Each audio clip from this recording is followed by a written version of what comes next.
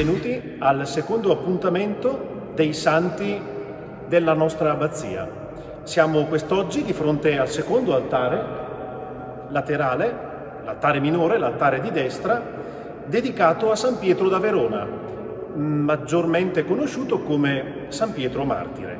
Innanzitutto diamo uno sguardo all'altare, un altare elegante questo, un altare slanciato, e ricco di molti colori.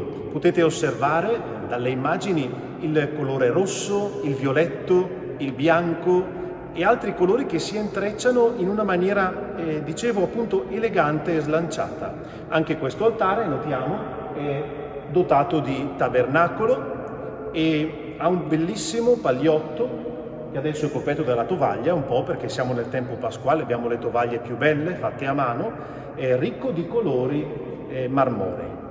Ma veniamo al santo. Innanzitutto lo vediamo raffigurato in questa splendida pala. Pensate che questo quadro è stato dipinto nel 1500, quindi questo quadro è più vecchio della chiesa, che è della fine del Settecento. Un quadro della scuola del Moretto e l'autore dovrebbe essere un certo Galeazzi, che ha dipinto anche eh, parecchi quadri nella città di Brescia. Dicevo, veniamo al santo. San Pietro Martire, nato a Verona nel 1205. I suoi genitori, i suoi parenti erano eretici, erano catari e fin da ragazzino lui non andava d'accordo con i suoi parenti, i suoi genitori, per questa scelta che loro avevano fatto. Ma cerchiamo di capire chi erano i catari erano persone che affermavano sostanzialmente che Gesù avrebbe avuto solo in apparenza un corpo mortale, negavano quindi la vera umanità di Gesù. Questa fede distorta era parecchiamente diffusa ai tempi di Pietro nel 1200, ma Pietro era una persona determinata, compì gli studi all'Università di Bologna, entrò poi nell'ordine domenicano quando San Domenico, il fondatore appunto, era ancora in vita. E anche lui, come Sant'Antonio, è stato un santo predicatore, quindi ha viaggiato tantissimo. Nel 1236 lo troviamo in tutte le città eh, centro-settentrionali, come dell'Italia, come anche eh, fu un grande predicatore contro questa eresia. Milano fu il suo campo principale di apostolato. Pensate che durante le sue prediche pubbliche, durante le sue dispute contro gli eretici, ecco queste prediche erano accompagnate addirittura da miracoli, da profezie e molti sentendolo tornavano alla vera fede del Vangelo. Pensate che il Papa, sapendo della sua fama, della sua bravura, nel 1251 lo nominò inquisitore per la città di Milano e Como. La lotta fu dura in quel periodo perché l'eresia era davvero diffusa. Pensate un po', nella Domenica delle Palme del 24 marzo 1252, durante una predica, egli predisse la sua morte. Disse, guardate, presto degli eretici mi uccideranno. E aggiunse, non preoccupatevi, disse ai fedeli, vi, vi aiuterò, o meglio, combatterò di più l'eresia più da morto che non da vivo. Fu così che i capi delle sette città di Milano, Bergamo, Lodi, Pavia, e altre assunsero come esecutori dei killer di allora. Un certo Pietro da Balsamo, detto Carino, si vede che era bello, e Albertino Porro di Lentate.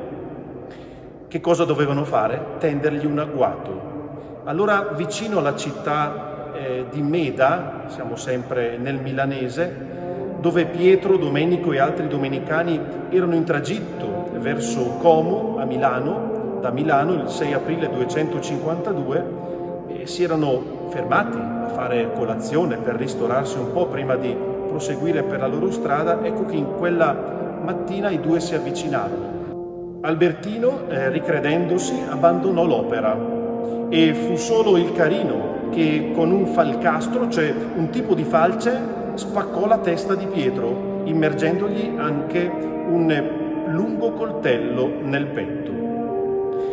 Lo vediamo, eh? dal quadro vediamo questa sua eh, uccisione, addirittura nella parte sinistra del quadro si può notare, se guardate bene, eh, il suo killer che lo prende per la testa e gli conficca questa falce appunto nella testa e anche in mezzo, dove lui era figurato con la croce, con l'angelo che gli porta la palma del martirio, vedete che proprio sulla testa, in mezzo alla testa, questa falce, questo coltello, eh, appunto che ricorda il suo martirio. Ecco, il corpo di Pietro fu trasportato subito a Milano ed ebbe delle esequie trionfali.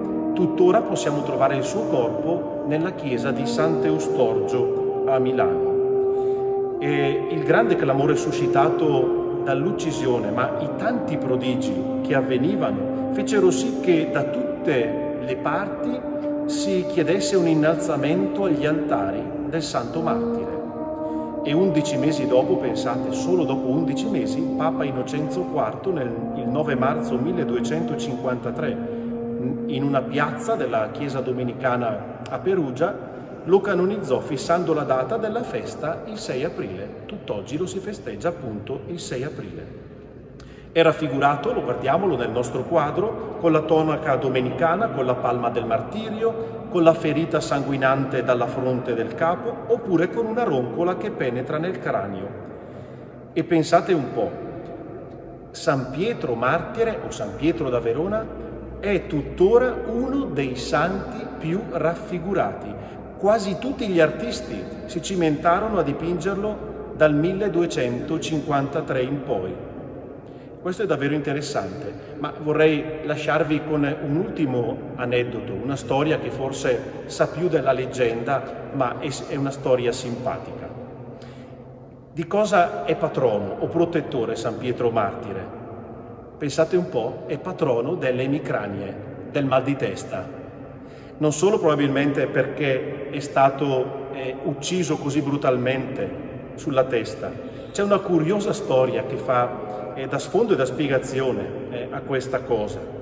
E si racconta che l'arcivescovo di Milano aveva ordinato di realizzare un sepolcro in marmo per custodire le spoglie mortali di San Pietro. Ma il problema si, eh, arrivò quando il vescovo eh, si accorse che il sepolcro era troppo corto e le spoglie non ci stavano. E il vescovo disse, beh facciamo così, tagliamo la testa, la mettiamo in un'urna d'argento e il corpo lo mettiamo nel sepolcro.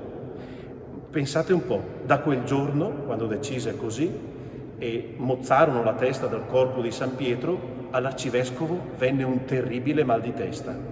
E il terribile mal di testa passò solo quando la testa di San Pietro venne ricomposta e rimessa insieme nel suo sepolcro. E da lì in poi divenne il protettore delle micranie.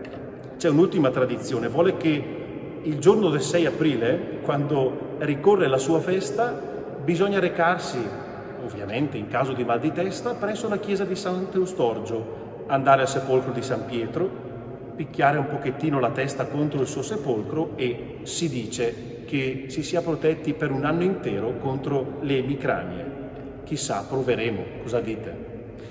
Questo santo comunque ci insegna una grande fermezza di vita, che viene da una convinzione assoluta nella fede professata. Allora quando veniamo nella nostra chiesa, magari in maniera frettolosa, giustamente entrando guardando prima il tabernacolo, ci mancherebbe, lì c'è il Signore che ci aspetta, però impariamo anche a volgerci al secondo altare di destra, quello di San Pietro, perché fermandoci davanti a Lui possiamo chiedergli di intercedere presso Dio perché possiamo avere anche noi, come Lui, una fede forte per poter vivere tenacemente ogni giorno la nostra vita da cristiani. Ci vediamo al prossimo altare laterale con i nostri santi patroni, i santi Vitale e Marziano.